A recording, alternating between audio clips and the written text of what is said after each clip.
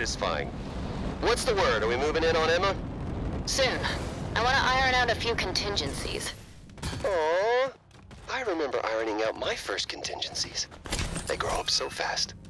I don't really know what I'm doing, but all I can do is try. I'm biting the Klomberry, so to speak. Seriously, I'm proud of you. Thanks, Jones.